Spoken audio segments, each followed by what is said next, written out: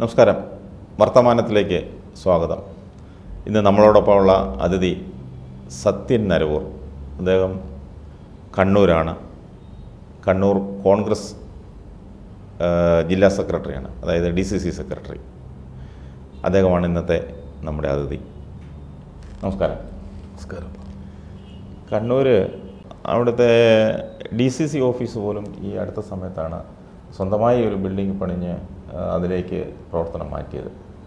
ആ കെട്ടിടം പണിയിൽ പോലും ഒരുപാട് കടം ഉണ്ടായി. അവിടുത്തെ അന്ന് ഡി സി സി അധ്യക്ഷനായിരുന്ന സതീശൻ പാച്ചേനി മരിച്ചുപോയി. അദ്ദേഹത്തിന്റെ വീട് വിറ്റ് വരെ പൈസ ഇതിലേക്ക് ചെലവഴിച്ചു എന്നൊക്കെ ഉള്ള ഒരു കുറേ കാര്യങ്ങളൊക്കെ ഇങ്ങനെ കേട്ടിട്ടുണ്ട് ഞങ്ങൾ. അതിന്റെ സത്യാവസ്ഥ എന്തായിരിക്കും?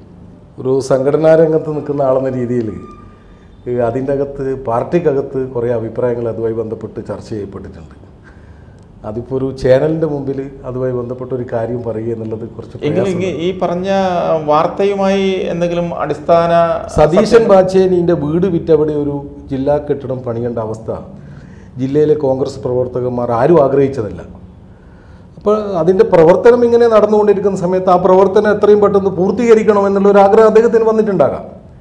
ആ രീതിയിൽ അദ്ദേഹം അങ്ങനെ ചെയ്തതിലൊക്കെ ഞങ്ങൾക്കൊക്കെ വ്യക്തിപരമായ അഭിപ്രായ വ്യത്യാസങ്ങൾ ഉണ്ടായിരുന്നു കാരണം സതീശന്റെയും സതീശന്റെ കുടുംബത്തെയും സതീശന്റെ കുട്ടികളെയും റോഡിലിറക്കി കോൺഗ്രസിന്റെ ജില്ലയിലെ പ്രവർത്തകന്മാർക്ക് കോൺഗ്രസിന്റെ ഓഫീസിനകത്ത് കയറിയിരിക്കേണ്ട കാര്യമില്ല. അവിടെയാണ്. അതാണ് അവിടെ ചർച്ച ചെയ്യേണ്ടത്. ആ ജില്ലയിലെ കോൺഗ്രസ് പ്രവർത്തകന്മാർ അത്ര ആത്മാർത്ഥതയുള്ള വോട്ടറാണ്. പണം പിരിച്ചു കൊടുക്കാൻ തയ്യാറായിട്ടുള്ളത്. പിരിച്ചു കൊടുത്തിട്ടുണ്ട്. ചിലപ്പോൾ അതിന്റെ പോരായ്മകൾ അതിന്റെ അകത്ത് ചില സന്ദർഭങ്ങളിൽ ഉണ്ടായിട്ടുണ്ട്. അതൊക്കെ ഒരു പരസ്യമായി പങ്കുവെക്കേണ്ട ഒരു വിഷയമായി ഞാനിപ്പോൾ കാണുന്നില്ല അതിന്. അത് എന്തായാലും ഇപ്പം ജില്ലയിൽ നല്ലൊരു കോൺഗ്രസ് കെട്ടിടമുണ്ട്. ആ കെട്ടിടത്തിനകത്ത് രാഷ്ട്രീയ പ്രവർത്തനം നല്ല രീതിയിൽ മുമ്പോട്ട് പോകുന്നുണ്ട്. പക്ഷേ അതിന്റെ അതിൻ അത് അത്രയും ഒരു കെട്ടിടം വാർത്തെടുക്കാൻ അല്ലെങ്കിൽ ആ ആ ഒരു ഡി സി സി ഓഫീസിന്റെ കെട്ടിടം യാഥാർത്ഥ്യമാകാൻ സതീശൻ പാച്ചേനിയുടെ വിയർപ്പ് അല്ലെങ്കിൽ അദ്ദേഹത്തിന്റെ അധ്വാനം വളരെ വലുതായിരുന്നു. വളരെ വലുതായിരുന്നു. അദ്ദേഹം അതിനുവേണ്ടി വളരെ ആത്മാർത്ഥയോടുകൂടി നല്ല മനസ്സോടുകൂടി അദ്ദേഹത്തിന്റെ കാലഘട്ടത്തിൽ തന്നെ അതിന്റെ ഉദ്ഘാടനം പൂർത്തീകരിക്കാൻ സാധിച്ചിട്ടുണ്ട്. പക്ഷേ അത് പണി പൂർത്തീകരിച്ചിട്ടല്ലല്ലോ ഉദ്ഘാടനം ചെയ്തത് ആണോ? പണി പണി പൂർത്തീകരിച്ചു. പണി പൂർത്തി- പണി പൂർത്തീകരിച്ചു. സതീശന്റെ കടം കൂടി ആ ഉദ്ഘാടനം ചെയ്യുന്ന ഘട്ടത്തിൽ തിരിച്ചെടുക്കാൻ സതീശന് സാധിച്ചിട്ടുണ്ട്. അപ്പൊ സതീശൻ വേറെ വീട് സതീശന്റെ സ്ഥിതി ഇപ്പൊ എന്താ? സതീശൻ ഇപ്പം വീട് വെക്കാൻ വേണ്ടി പാർട്ടി തന്നെ മുൻകൈയെടുത്ത് ആ വീടിന്റെ പ്രവർത്തനം നടന്നുകൊണ്ടിരിക്കും സതീശന്റെ കുടുംബത്തിൽ ആ കുടുംബത്തിൽ ഇപ്പോൾ ഒരു വാടക കെട്ടിടത്തിൽ താമസം. അതെ അതെ അതെ. അപ്പോൾ അത്രയെങ്കിലും പാർട്ടി ചെയ്തില്ലെങ്കിൽ പാർട്ടിയോട് ജനങ്ങൾക്ക് ഉണ്ടാകുന്ന ഒരു ചിലപ്പം പുച്ഛമായിട്ടൊക്കെ തോന്നിയേക്കാം. ഞങ്ങളെ പാർട്ടി എല്ലാ കാലത്തും പാർട്ടി പ്രവർത്തകന്മാരെയും പാർട്ടിക്കകത്ത് ദുഃഖിക്കുന്ന ആളുകളെയും അതിന്റെ പ്രയാസം അനുഭവിക്കുന്ന ആളെ കൂടെ നിന്നിട്ടുണ്ട്. പക്ഷേ സി പി എം അതുപോലല്ലോ സി പി എം ഇങ്ങനെയൊക്കെയുള്ള കാര്യങ്ങളിൽ കുറച്ചുകൂടെ മുന്നിലാണ്. മുന്നിലാണ്. അവർ ഒരു പാർട്ടി പ്രവർത്തന ഓരോ പാർട്ടി കുടുംബങ്ങളാണ് അവർക്ക്. ആ കുടുംബത്തെ സംരക്ഷിക്കുന്നത് ആ കുടുംബം എങ്ങനെ ജീവിക്കുന്നു അല്ലെങ്കിൽ ആ കുടുംബം എങ്ങനെ ജീവിക്കണം എന്ന് ഉള്ളൊരു കാഴ്ചപ്പാട് സി പി എമ്മിനുണ്ട്. അവരെ പോലെ ആയില്ലെങ്കിലും കോൺഗ്രസ് ആ ജില്ലയിലുള്ള കോൺഗ്രസിന്റെ അകത്ത് പ്രയാസം അനുഭവിക്കുന്ന അതുപോലെ രക്തസാക്ഷി കുടുംബങ്ങൾ അതുപോലെ തന്നെ ഒരു ഒരുപാ- ഒരുപാട് ആളുകൾ ഈ രാഷ്ട്രീയ എതിരാളികളുടെ കയ്യേറ്റത്തിന് വിധേയമായി മർദ്ദനത്തിന് വിധേയമായി ചികിത്സക്ക് ചികിത്സ തേടി ഇപ്പോഴും ജീവിക്കുന്ന ആളുകൾ ജില്ലയിലുണ്ട്. അവരെയൊക്കെ പാർട്ടീന്റെ പരമാവധിയുള്ള ശക്തിയും കഴിവും ഉപയോഗിച്ച് സഹായിച്ചിട്ടുണ്ട്. പക്ഷേ തെക്കോട്ട് ഇപ്പം നമ്മൾ ഏറ്റവും കൂടുതൽ ചർച്ച ചെയ്യുന്ന കോട്ടയം ജില്ലയിൽ പുതുപ്പള്ളി മണ്ഡലം ഉൾപ്പെടെ നമ്മളിപ്പോൾ ഏറ്റവും കൂടുതൽ ചർച്ച ചെയ്യുന്ന ഒരു സമയമാണ് ഇത്. കാരണം പുതുപ്പള്ളി അവിടുത്തെ എം എൽ എ മുൻ മുഖ്യമന്ത്രി ആദരണീയനായ ഉമ്മൻചാണ്ടി സാറായിരുന്നു. അദ്ദേഹത്തിന്റെ മരണശേഷം ആ പുതുപ്പള്ളിയും അദ്ദേഹത്തെയും കുറിച്ച് പ്രത്യേകിച്ച് പുതുപ്പള്ളി മണ്ഡലത്തെക്കുറിച്ച് ഒരുപാട് ചർച്ച നടക്കുന്ന സമയമാണ്. ഇലക്ഷൻ പ്രഖ്യാപിച്ചു. ആ ഇലക്ഷൻ പ്രഖ്യാപിച്ചു വന്നപ്പോഴത്തേന് അവിടെ ഇങ്ങനെയുള്ള ചർച്ച. പക്ഷേ അവിടെ പോലും അൻപത്തി മൂന്ന് വർഷം ആ മണ്ഡലത്തെ പ്രതിനിധീകരിച്ച ഉമ്മൻചാണ്ടി സാറിന്റെ പുതുപ്പള്ളി മണ്ഡലത്തിൽ പോലും കോൺഗ്രസിന് ഈ പറയുന്ന നിങ്ങളെപ്പോലെ നിങ്ങളിപ്പോൾ പറഞ്ഞ രീതിയിലുള്ള ഒരു പ്രവർത്തനം അവിടെ നടക്കുന്നുണ്ടോ? കോൺഗ്രസ് പാർട്ടിയിൽ നടക്കുന്നുണ്ടോ എന്ന് സംശയമുണ്ട്. ഒരിക്കലും അങ്ങനെ സംശയിക്കാനുള്ളൊരു വക ഞാൻ കാണുന്നില്ല. കാരണം ഉമ്മൻചാണ്ടി സാറിനെ പോലെ കേരളത്തിലെ കോൺഗ്രസിന് മാത്രമല്ല കേരളത്തിലെ പൊതുവെയുള്ള മൊത്തം ജനങ്ങളെയും ചേർത്ത് പിടിച്ചുകൊണ്ട് മുന്നോട്ട് പോകുന്ന ഒരു രാഷ്ട്രീയ പ്രവർത്തകൻ ശരി ശരിയായി അത് അത് ശരിയായിരിക്കാം. അദ്ദേഹം ചേർത്ത് നിർത്തി ആളുകളെല്ലാം ചേർത്ത് പിടിച്ച് കൊണ്ടുപോയിക്കൊണ്ടിരുന്ന ഒരു നല്ലൊരു നേതാവാണ് നല്ലൊരു ഭരണാധികാരിയായിരുന്നു. അതെല്ലാം ശരിയാണ് പക്ഷേ അദ്ദേഹത്തിന് ശേഷം അവിടുന്ന് ഒരു നേതാവ് ലീഡർഷിപ്പിലേക്ക് ഒരാളിനെ അദ്ദേഹത്തിന്റെ മകനെ അദ്ദേഹം വളർത്തി നല്ലൊരു പാർട്ടിക്കാരനായിട്ട് വളർത്തി. പക്ഷേ നേതൃനിരയിലേക്ക് ഇതുവരെ ഒരു ലീഡർഷിപ്പിലേക്ക് അല്ലെങ്കിൽ ഒരു ഭരണരംഗത്തേക്ക് ഒരു പഞ്ചായത്ത് മെമ്പർ പോലും ആക്കാൻ അദ്ദേഹം മെനക്കെട്ടിട്ടില്ല. ആ പറയുന്നതിനോട് എനിക്ക് തീരെ യോജിപ്പില്ല. കാരണം എല്ലാ ആളുകളെയും ഈ കോൺഗ്രസിന്റെ അകത്തുള്ള ചെറുപ്പക്കാരായിട്ടുള്ള ആളുകളെ പ്രോത്സാഹിപ്പിച്ച് മുന്നോട്ട് പോയി കേരളത്തിൽ അങ്ങോളം അത് ഒരു മാതൃകയായി കാണിച്ച ഉമ്മൻചാണ്ടിയുടെ ഭാഗത്ത് പുതുപ്പള്ളിയിൽ അങ്ങനെ ഒരു പ്രശ്നം ഉണ്ടാകാൻ സാധ്യത കുറവാണെന്ന് എന്റെ അഭിപ്രായം. ഞാൻ പുതുപ്പള്ളിയെ പറ്റി അങ്ങനെ കൂടുതലായി പഠിച്ചിട്ടില്ല. അതുകൊണ്ട് അവിടെയുള്ള നേതാക്കന്മാരെക്കുറിച്ചും എല്ലാ ആളുകളെ കുറിച്ചും ഏത് തരത്തിലുള്ള ഉയർച്ചയിലാണ് അവർ നിൽക്കുന്നതെന്ന് എനിക്കിപ്പോൾ പറയാൻ സാധ്യമല്ല ഓക്കെ. കഴിഞ്ഞ ദിവസങ്ങളിലൊക്കെ പുതുപ്പള്ളിയുമായുള്ള ചർച്ചകൾ സോഷ്യൽ മീഡിയയിൽ നടക്കുന്നുണ്ട്.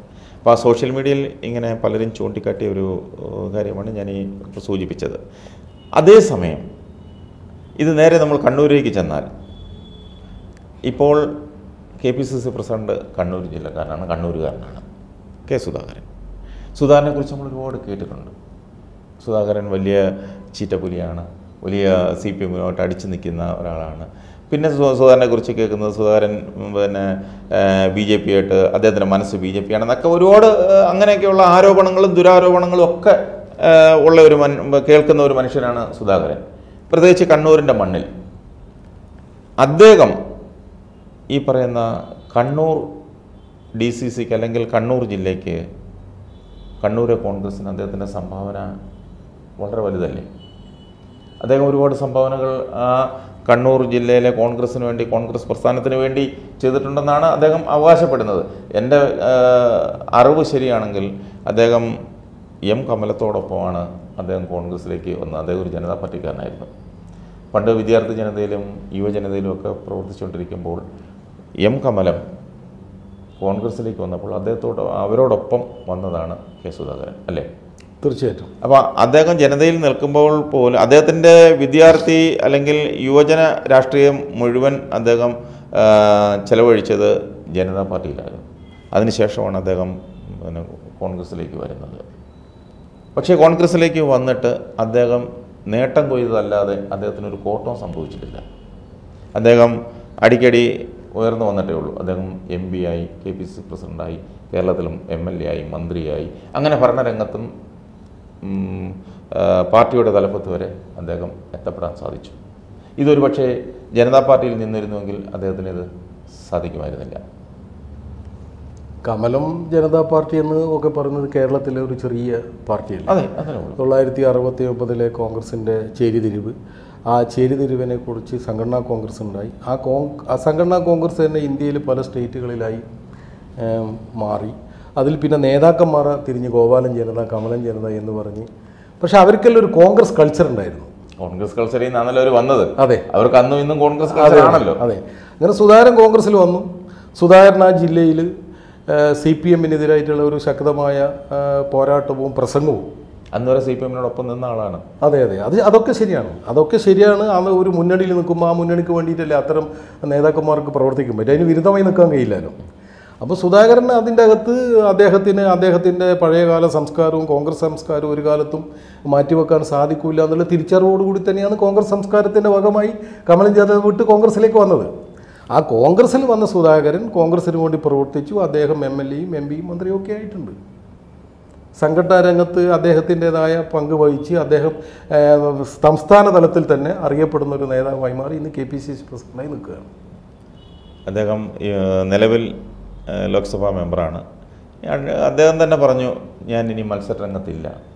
അടുത്ത പ്രാവശ്യം മത്സരിക്കാൻ സാധ്യത കുറവാണ്. ഞാൻ മത്സരരംഗത്ത് ഇല്ല. ഇനി ലോക്സഭയിൽ മത്സരിക്കുന്നില്ല എന്നാണ് അദ്ദേഹം പല പലതവണ അദ്ദേഹം തന്നെ പറഞ്ഞിട്ടുണ്ട്.